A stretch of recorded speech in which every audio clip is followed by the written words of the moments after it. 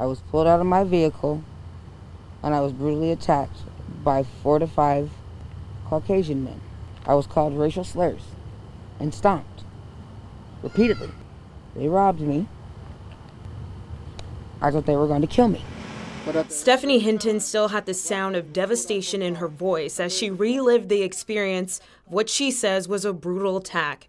Pictures of her injuries from the attack have been shared hundreds of times on Facebook. Somehow, I found the strength to crawl back to my car.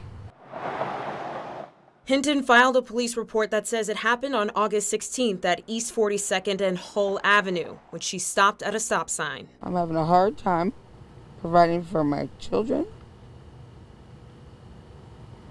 due to what they've done to me. I'm having a hard time mentally. This keeps replaying in my head. A moment that has seemingly changed her life forever at a time where social justice and inequities are roaring at the forefront of conversation, Hinton says she felt compelled to convey what happened, and supporters echo those sentiments. we want to make sure